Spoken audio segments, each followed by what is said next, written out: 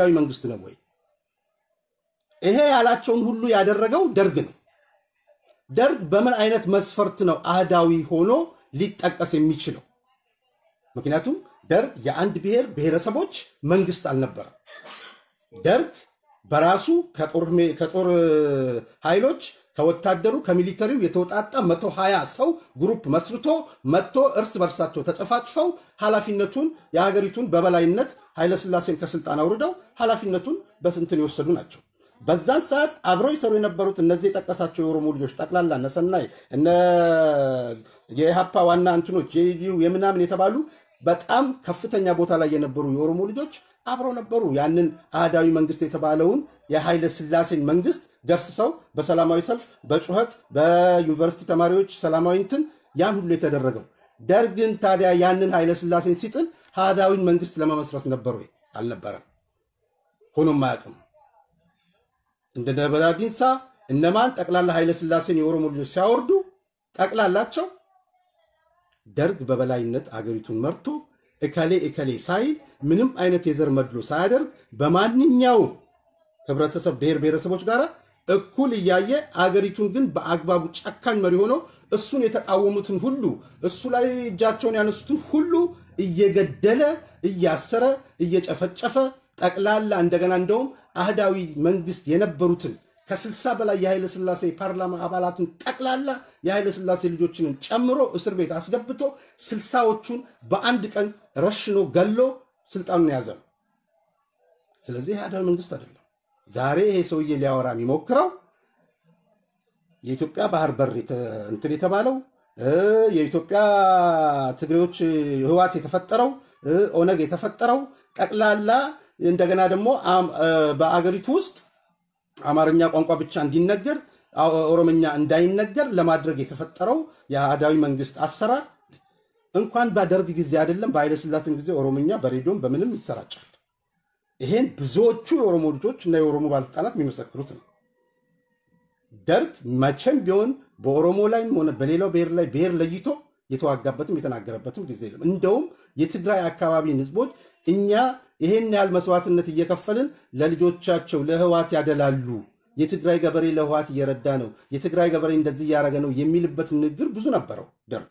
ግን ዞሮ ዞሮ ይሄ አይነት የፖለቲካ አካሄድ ዛሬ አህዳዊነት አገራችንን ሊያጠፋ ነው ብሎ ነው እየተናገረ ያለው። አህዳዊነት የእርስ በርስ ጦርነት ሊያመጣ ነው። ለእኔ ዛሬ አህዳዊ የሚባለው ማን እንደሆነም አላቅም።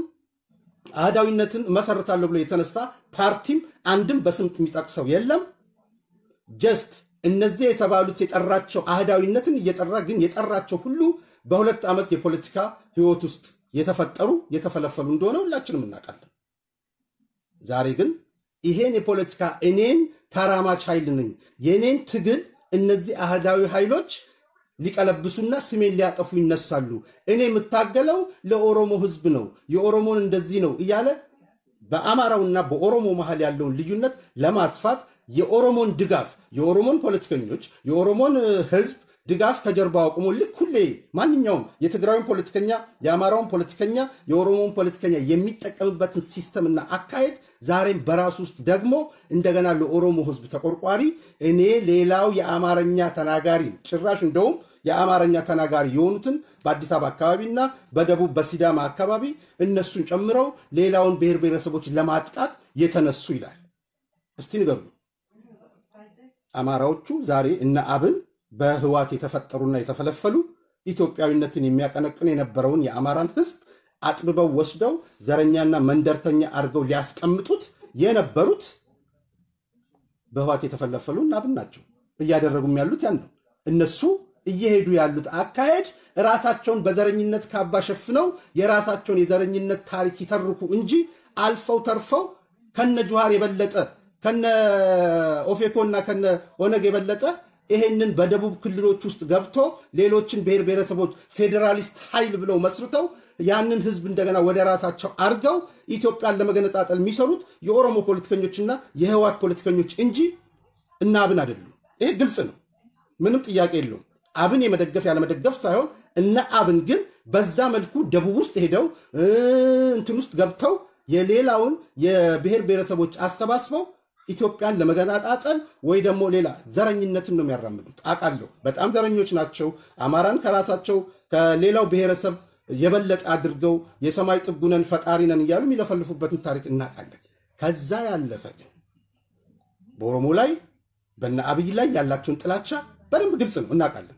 የኦሮሞ ልጆች ለምን ቤተ መንግስት ገቡ እናውቃለን። ይህን ያካሂዳሉ። አዎ ግልጽ ነው። ጥላቻ አላቸው። ለኦሮሞ አክቲቪስቶችና ለኦሮሞ ፖለቲከኞች በጣም ከፍተኛ ቅስቀሳ ሲያደርጉ አይተናል። በነ ለማ ላይ በነ አብይ ላይ ቅስቀሳ ሲያደርጉ አይተናል። ከፍተኛ ጥላቻቸውን በተለያዩ ዓለማት ሁሉ እየተሰለፉ ያሳዩትን አይተናል። አዎ ይህን አንክድም፣ ሀቅ ነው። እነዚህ ሴረኞች ከዚሁ ኢትዮጵያን ለማፍረስ ከተነሱ ከፌዴራሊስት ከተለያዩ ግለሰቦች ጋራ አንድ ላይ የምንመድባቸው ናቸው። ህዋት፣ አብን፣ ኦነግ፣ እነ ጀዋር የኢትዮጵያ ጠላቶች ናቸው። ኢትዮጵያን ለማፍረስ የሚሰሩ ናቸው። ሌላ ምንም ጥያቄ የለም። አዎ ስለዚህ አህዳዊን ብቻ ተጠያቂ አድርጎ የኦሮሞን ህዝብ ተቀባይነትና ድጋፍ ለማግኘት ዋናውን ኢትዮጵያን በአሁን ሰዓት የሚያሰጋው አህዳዊነት ነው፣ ፌዴራሊስትነት ነው፣ የዘር ፖለቲካው ነው። ኢትዮጵያን የሚያጠቃ ለማፍረስ በአሁን ሰዓት ጥግ ጥግ አይደለም መሀል ላይ ቁጭ ብሎ እየሰራ ያለው ወይስ አህዳዊነት ነው? እውነቱን እንናገር። ኢትዮጵያን ሊያፈርስ የተነሳው የዘር ፖለቲካና ፌዴራሊዝም በሚል ስም የሚሰባሰቡ group ኦች እንጂ የአህዳዊነት group አይደለም። ማንም አህዳዊ group በአሁኑ ሰዓት የለም። ለምን? ሊኖርም ሊታሰብም የማይችል በመሆኑ ያለነው 21ኛው ክፍለ ዘመን ላይ ነው። በ21ኛው ክፍለ ዘመን የአፄ ሚኒሊክ አስተሳሰብ ወይ የኃይለ ሥላሴ አስተሳሰብ ኢትዮጵያ ውስጥ ስራ ሊሰራ ይችላል። እንደገና ተነስቶ ተሰባስቦ እንደ ሌላው ሀገር እኛ በበኩሌ እኔ በዘር ተደራጅቶ በዘር የበላይነት አምኖ ሀገሪቱን በዘር የሚያስተዳድር ሀገር የቱ እንደሆነ አላቅም። ፌዴራሊዝም አለ የትም ዓለም ላይ ግን በጂኦግራፊካል አቀማመጥና በንትን እንጂ በዘር የተደራጀ ፌዴራሊዝም በዓለም ላይ ስለመኖሩ አናቅም። ሁሉ የሚጠሩት አንድ ስዊዘርላንድን ነው። ስዊዘርላንድ የሶስት የአራት አገሮች ቋንቋ ተናጋሪዎች ጀርመንኛ፣ ጣሊያንኛ፣ ፈረንሳይኛ የሚናገሩ ህዝቦች በዘጠኝ ቦታ በቋንቋቸው ሳይሆን በአቀማመጣቸው በዘጠኝ ክልል ተቀምጦ የሚሰሩ ናቸው። ሁሌ ምሳሌ የሚያመጡት ስዊዘርላንድን ነው። በዓለም ላይ ከዛ ውጭ ማንም የለም በዘር የተደራጀ ፌዴራሊዝም ያለው። እኛ አገር ግን መስራትና መመስረት ህወሓት የመሰረተው በዘር የተደራጀ ፌዴራሊዝምን ነው። ያን ነው ኢትዮጵያን ሊያሰጋ የሚችለው ያ ነው ታላቅ አደጋ የሚሆነው እንጂ የህልምና የቅዠት የነ አብን ቅዠት ዛሬ ኢትዮጵያን ሊያፈርስ ይችላል ብሎ ማሰብ ቅዠት ነው። እነሱ እርስ በርሳቸው እየተባሉ ዛሬ ያሉበትን እናውቃለን። የአማርነት ዘረኝነት እነዚህ የጠቀሳቸው ሁሉ አህዳዊ እያለ እየጠራ ግን የጠቀሳቸው ከጊዜውና ከዘመኑ ጋር የማይሄድ ማለትም ህወሓትን የፈጠረ የአህዳዊ group አይደለም። ኦነግን የፈጠረ የአህዳዊ group አይደለም። ባህር በራችንን ያስጣለ አህዳዊ group አይደለም። አማርኛና ኦሮምኛ ኦሮምኛ በሀገሪቱ ውስጥ እንዳይነገር ያደረገ ደርግ አይደለም። ስለዚህ ይሄንን አካሄድ ብልጽግና ውስጥ እንዲህ አይነት አስተሳሰብ ያለው ሰው በስልጣን ደረጃ ተቀምጦ ብልጽግና ራሱን ተመልሶ ወደኋላ ማየት አለበት። በውስጡ ያሉትን ካድሬዎች እንደገና መፈልፈል አለበት። እንደገና ሌላ የካድሬነት ስልጠና መስጠት ካለበት ይሰጣል። አለዛ እነዚህ ሰዎች ከቦታው እያስነሳ አስፈላጊውን እርምጃ መውሰድ እንዳለበት ይሄ አስተሳሰብ ህዝብን የመከፋፈል ህዝብን የመለያየት እኛ ምንጠላውን በፌዴራሊስቶች በነ ጁሃር በነ ኦነግ በነ ኦፌኮ የምንሰማውን አይነት ፖለቲካ ዛሬ ብልጽግና ውስጥ ባለስልጣን ተብሎ በምናየው ሰው መንጸባረቁ በጣም ነው ያሳዘነኝ፣ እጅግ በጣም አዎ። እነ ኤርሚያስን መናገሩ ሌላ ጉዳይ ነው። እነ ኤርሚያስ ማለት ብዙ ስራዎች ይሰራሉ፣ ሆዳሞች ናቸው፣ የታወቀ ነው። ኤርሚያስ ማለት እስክንድር ነው። እስክንድር አንድ እርምጃ የራሱ ኑሮ እንኳን manage ማድረግ የማይችል ሰው ነው። ዛሬ እንደ ኦሮሞ እንትን አዎ፣ እስክንድር በግሉ ሊጠየቅ ይችላል። ኤርሚያስ እንደዛ አስተዋጽኦ አድርገዋል። ብዙ ህዝብን እንዳይረጋጋ በፕሮፓጋንዳ ሴራ በብዙ አዎ። ግን ከጠቀሰበት ጊዜ አንስቶ ስለ አህዳዊነት የሚናገራቸው ጠቅላላ ምንም ጥያቄ በሌለው አማራውን target ያደረገ ነው። ይሄ አካሄድ ደግሞ አማራውን target ያደረገ አማራውን ከሌላው ብሔር የመነጣጠል ሌላው ብሔር በአማራው ላይ አሁንም ቢሆን አለ ሲዳማን ሲጠቅስ ራሱ ሲዳማንና ሌላውን የኦሮሞን ህዝብ ፍላጎት ለመጫን ዛሬ ሲዳማው በክልል ደረጃ ራሱን ችሎ ያለበት ሁኔታ ስለሆነ ዛሬ እነ ሲዳማን ይሄ የጃዋር እንትን ነው፣ ፎርሙላ ነው። ጃዋር ሲዳማ ሄዶ ኤጀቶ ጋር ምን ሲል እንደነበር እናውቃለን። ጃዋር ወላይታ እናንትንን እንዴት አድርጎ ወላይታ ራሱን ችሎ እንዲወጣ ራሱን ችሎ ክልል እንዲሆን ሲያስተባብር እንደነበር አይተናል። ይሄን ሁሉ እያየ እኛ የፖለቲካ እኛ የኦሮሞ ልጆችን የኦሮሞ ዶክተሮችን የኦሮሞ ምሁሮችን በተረኛነት ስሜት እንድንሸማቀቅ ለማድረግ ለምን የራሱን አይ እውነተኛ ኢትዮጵያዊ ከሆነ እነዚህ ፌዴራሊዝምን የሚያካሂዱ ኢትዮጵያን ሊሸነሽኑ እንደ ገና ዳቦ ሊሸነሽኗት ያሉትን ድርጅቶች ወደ ጎን አስቀምጦ የኦሮሞ ፓርቲዎችና የኦሮሞ ድርጅቶችን ዋና ጽንፈኞቹን ወደ ጎን አድርጎ እዚህ ጋር በህልምና በቅዠት ምንም በፓርቲነት ያልተመሰረተ በመንግስትነት የማይታወቅ በድርጅት የማይታወቅ ዝም ብሎ ተራ አሉባልታ አህዳዊነትን ህዋቶችና ትግራዮች የሚናገሩትን ህዋቶችና ትግራዮች ስል የትግራይ ፖለቲከኞች ለማለት ነው። ስለዚህ እነሱ የሚናገሩትን ብቻ ሰብስቦ ዛሬ ላይ ራሱን እንደ ኦሮሞ ልጅ ፉክክር ከሆነ ከነ ጁሃር ጋር የህዝብ ተቀባይነት እንደነ ኦፌኮ እንደነ በቀለ ገርባ የህዝብ ቅፋ የህዝብ ድጋፍ የኦሮሞነትን እንትን አንተም ነገ ላይ ተነስተ እንደነሱ በኦሮሞ ህዝብ ታጅበህና በእነሱ በኦሮሞ ህዝብ ቦታ እንዲሰጥህ ሬድ ካርቤት ተነጥፎልህ ለመሄድ ከፈለግ አማራውን አጥላልታ አይደለም ወይ የሌለ ስም ሰጥታ አይደለም። ያልተመሰረተ የሌለ ዝም ብሎ ቅዠት የሆነ ያ እኮ ማለት አንተ ከጠቅላይ ሚኒስቴር ጋር ዛሬ ጠቅላይ ሚኒስቴሩን አህዳዊ መንግስት ሊያመጣብን ነው ብሎ የሚሉት ለምንድን ነው? እነ ሚኒሊክን እነ ኃይለ ስላሴን ጥሩ ስራቸው ይሄ ነው፣ ማንነታቸው ይሄ ነው፣ ታሪካቸው ይሄ ነው። በኦሮሞ አክቲቪስቶች የሚነገረው ታሪክ ሁሉ ስለ አኖሌ ስለማን ጠቅላላ የውሸት ታሪክ ነው። ስለዚህ መጥፎ ጠባሳ ተሰርቷል። አዎ ባለፉት ንጉሶች በእውቀታቸውና በአቅማቸው በአስተሳሰባቸው ደረጃ ብዙ ስህተቶች ሰርተው ሊሆን ይችላል። ያን ጠባሳ ለእኛ ስለማይጠቅመን ወደ ጎን አስወግደን ዳግም እንደዛ አይነት ስህተት በሀገሪቱ ውስጥ እንዳይፈጠር እኛ ደግሞ አዲሱን ትውልድ ከጥላቻና ከዘረኝነት ነፃ አውጥተን ያንን ሀገራችንን እናስቀጥል ነው።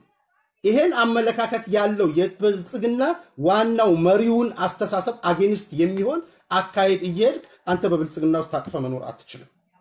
አዎ እኛ ለብልጽግና የምንኖረው የጠቅላይ ሚኒስቴሩ አስተሳሰብ ለዚች ሀገር መፍትሄ ነው ብለን ስለምናስብ ነው።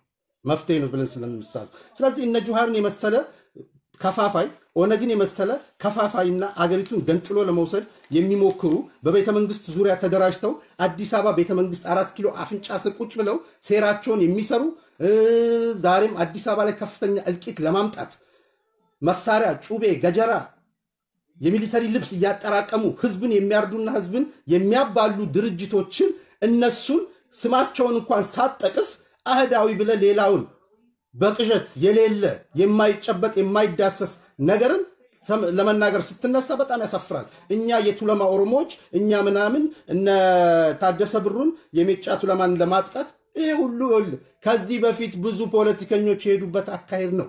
ብዙ ፖለቲከኞች የተጠቀሙበት ነው። አልሰራላቸውም፣ አልሆነላቸውም። ኦነግ አርባ ዓመት ተጠቅሞበታል። ህዋት ተጠቅሞበታል። አዎ በጣም የሚያሳዝነው ከእንደዚህ አይነት አካሄድ እነ ታደሰ ብሩንና እነ ብርሃነ መስቀልን እነ ሰናይ ልኬን እዚህ ውስጥ ማጠቃለል አሳፋሪ ነው። እነሱ ኢትዮጵያዊነትን ይዘው ነው የታገሉት። ኢትዮጵያዊነት በኢትዮጵያዊነታቸው የሚያምኑ ምሁሮች፣ ትክክለኛ እውነተኛ የኢትዮጵያ ልጆችና የኦሮሞ ብሔር ተወላጆች ናቸው። ምናመሰግናቸው፣ ምናደንቃቸው ደርግ የበላቸው። አዎ እንዳንተ አይነት የጨቀየ አስተሳሰብ ይዘው አይደለም። ዛሬ ለራስ ክብር እኔ በውጭ መማሬን የአሜሪካ ዩኒቨርሲቲዎች ይመስክሩ፣ የአሜሪካ በውጭ ጉዳይ ሚኒስቴር፣ በተባበሩት መንግስታት ሚኒስቴር የሰራሁት እውቀቴን እናንተ አትወስዱ። ይሄ ነው እኛን ያጃጃለን። እዚህ ተምሬያለሁ፣ እዚህ ዩኒቨርሲቲ ኦክስፎርድ ነበርኩ፣ እንደዚህ ነበርኩ እያላችሁ የምትሉት ህዝቡን ለማጃጃል ብዙዎቹ ተጠቅመውበታል። በዶክተርነታቸው ሰርተውበታል። በፕሮፌሰርነት ስማቸው የኢትዮጵያን ህዝብ አጃጅለውት ኖረዋል። ዛሬም ያንኑ የተጠቀምከው ምን ያህል ድኩማን መሆን የሚያሳየው ዛሬም ያንኑ አስተሳሰብ ይዘህ እኔ እውቀቴን የሚወስድብኝ የለ የአንተ እውቀት ለኢትዮጵያ አርባ ዓመት ምን ፈየደ ነው ጥያቄው። ምን ሰርተሃል ነው ምን ሰርተሃል? አዎ የጋሽ አበራ ሞላን ያህል ሰርተሃል ለኢትዮጵያ? ዶክተር ነኝ ፕሮፌሰር ነኝ የማይሉትም የአዲስ አበባን ከተማና ሌሎቹን በጽዳት ኢትዮጵያን ሀ ብለው ጀምረው ከገቡበት ሰዓት ጀምሮ ለኢትዮጵያ ህዝብ የሚሰሩት ማለት እነዛ ናቸው። ከጎዳና ላይ እንደነ ጂጂ ታደሰ አይነት እንደነ ቻቺ እንደነ አመልማ እንደዛ ሰርተሃል ወይ? ቢያንስ ለኢትዮጵያ አንድ ነገር ዶክተርነት ያመጣው አንድም ነገር የለም። ጠቅላላችሁ ፕሮፌሰር ነን ዶክተር ነን የምትሉ አንድም ዛሬም የአማራውን ህዝብ ብለው ጠበቃነት የቆሙት ለኢትዮጵያ ህዝብ አንድም ሰርተው የማያውቁ ትላንትና እንዳልከው በሁለት ዓመት ውስጥ የተፈለፈሉ ከዛ በፊት የነበሩ የአማራ ልጆች እኮ በኢትዮጵያዊነታቸው የሚያምኑ ኢትዮጵያን እንዳትፈርስ ዳር ድንበሯን ሲያስጠብቁ የኖሩ በኢትዮጵያዊነታቸው የሚኮሩ አርማ የሌላቸው ታሪክ ባንዲራ የሌላቸው አንድም ቀን የንገንጠልና የዘረኝነት ስሜት የማናይባቸው ነበሩ። በአፄዎቹ ጊዜ የተባለው በአፄዎቹ ጊዜ አማራውም አብሮ ጭሰኛ ሆኖ ለፊውዳሎች ሲገብር ነው ይኖረው። መቶ ኩንታል አርሶ አስር ኩንታል እየወሰደ ዘጠና ኩንታል ለፊውዳሎች እየሰጠ ነው ይኖረው። ጭሰኛ ሆኖ ነው ይኖረው። በመላው ሀገሪቱ ተበትኖ ጉልበቱን ሲሰጥ ነው ይኖረው። ምንም ያተረፈው ነገር የለም። ስለዚህ ማንን ነው አህዳዊ ብለ ዛሬ ላይ እንደገና ወደኋላ ተመልሰ አህዳዊዎች እንዲህ ሊያደርጉ ይፈልጋሉ። አህዳዊዎች ዛሬ ላይ የመጣውን እንደዚህ እንደዚህ ሊቀለብሱት ይፈልጋሉ።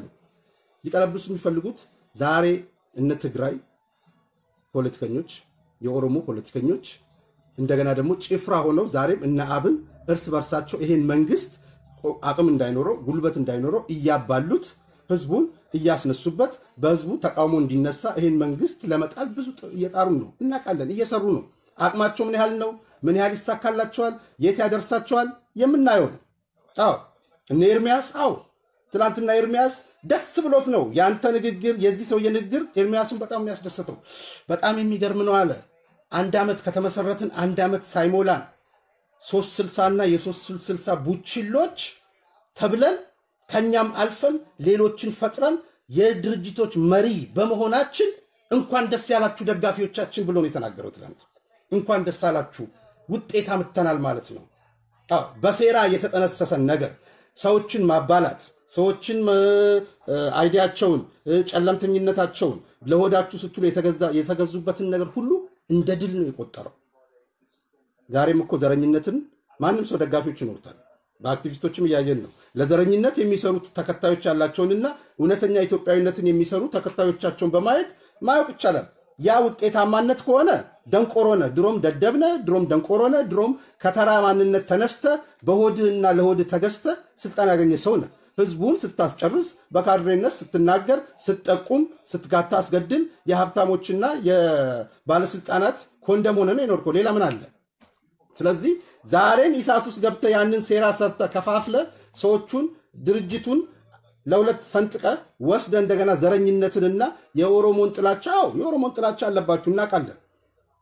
ዛሬ ላይ የሚሰሩ የኦሮሞ የአማራ አክቲቪስቶች መነሻቸው እናንትን ማለቻቸው ለምን ይሄ ሰውዬ ቤተ መንግስቱ ለእኛ ነው እንጂ ለእሱ አይገባም ባዮች ናቸው። አዎ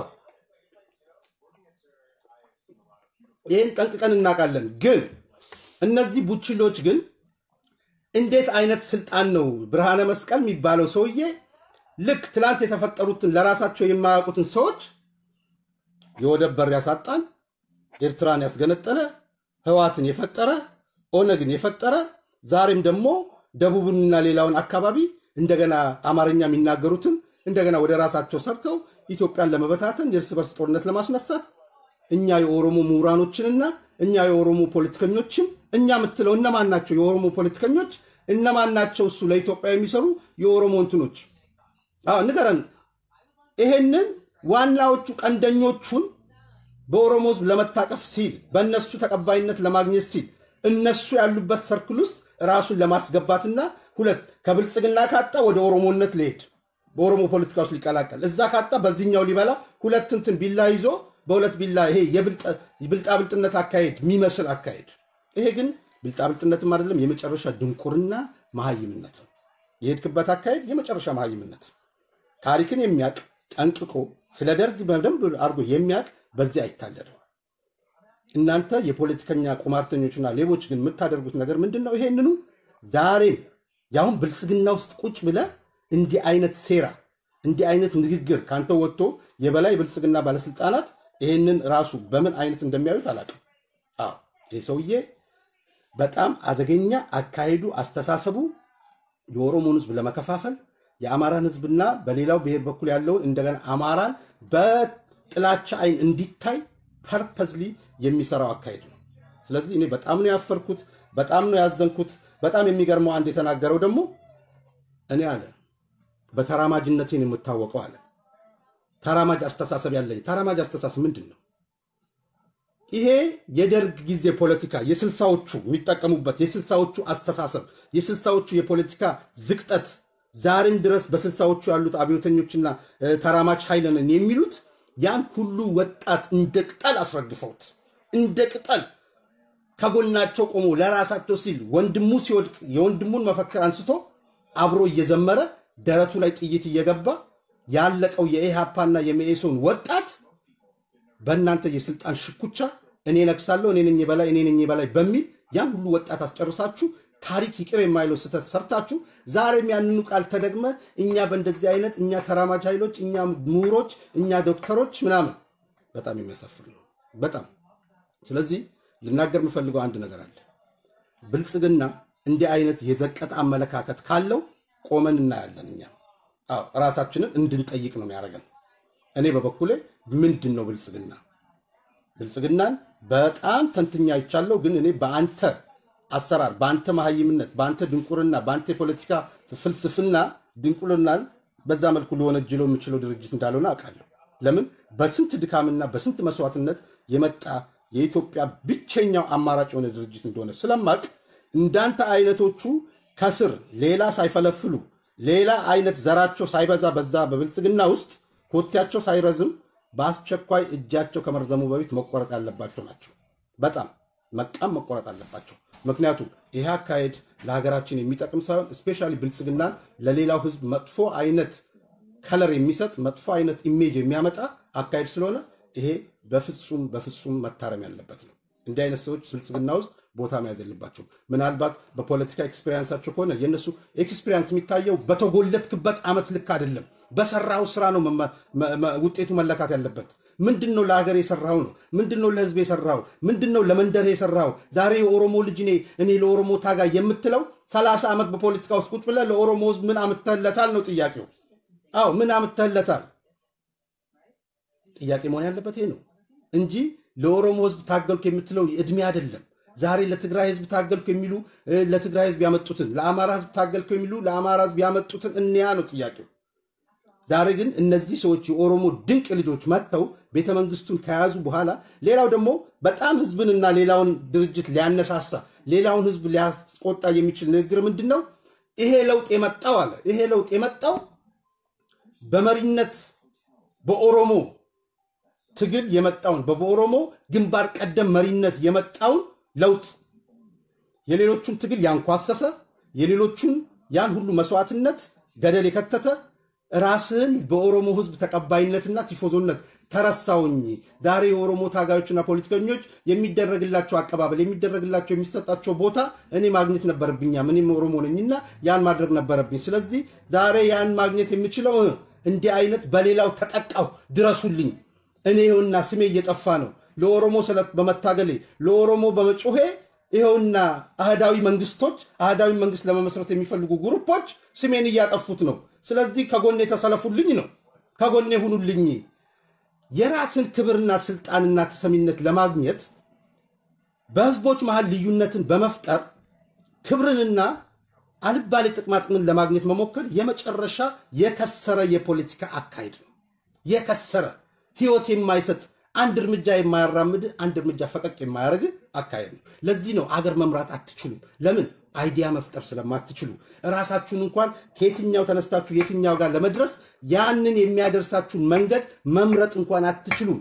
እንኳን ህዝብን ከአንድ ቦታ ወደ አንድ ቦታ ለማዘዋወርና lift up ህይወቱን ለመቀየር አይደለም የራሳችሁን መንገድ የቱ ጋር በየትኛው አቅጣጫ ብትሄዱ እንደሚያዋጣችሁ እንኳን ጠንቅቃችሁ አታውቁም። አዎ ጠንቅቀው ያወቁት አካሄዳቸው ምን ቢሆን ዓለም አቀፋዊ፣ ሀገር አቀፋዊ፣ ህዝባዊ አንድነትና ፍቅርን ያለው አካሄድ ማንም ሄዶት የማያውቀውን አካሄድ በመሄዳቸው እነ ለማና እነ አብይ የደረሱበትን አይተናል። ሰው ከነሱ እንኳን እንዴት አይማርም? ሰው ከነሱ እነሱ የሄዱበትን መንገድ አይቶ አርባ ዓመት የቆዩት የኦነግ ፖለቲከኞች ይህን ያህል የቆዩት የአማራ ፖለቲከኞች ይህን ያህል የኖሩት የትግራይ ይህንን ሁሉ ለምንድን ነው ያልተሳካላቸው? እነዚህ ሰዎች ትላንት መጥተው በዓመት ከስምንት ወር ውስጥ ከአገራቸው አልፈው ዓለም ላይ የዓለምን ማንነት የተቆጣጠሩ የዓለምን ጭንቅላት፣ የዓለምን ሚዲያ፣ የዓለምን ጋዜጣ፣ የዓለምን ካዝና የበረበሩ የዓለምን ሽልማት የሰበሰቡ ዓለም ላይ ድንቅ ታሪክ የሰሩ የኦሮሞ ልጆች ምን ተጠቅመው ነው ምን አካሄድ ሄደው ነው ብሎ ሰው እንዴት አይማርም? ሰው ዛሬም እንደገና ህዝብንና ህዝብን እየከፋፈለ የከሌ ህዝብ እኔን ሊያጠቃኝ ነው፣ እከሌ እኔን ድረሱልኝ፣ እከሌ ለከሌ ስልት በመዋጋት እንደዚህ ሆንኩኝ።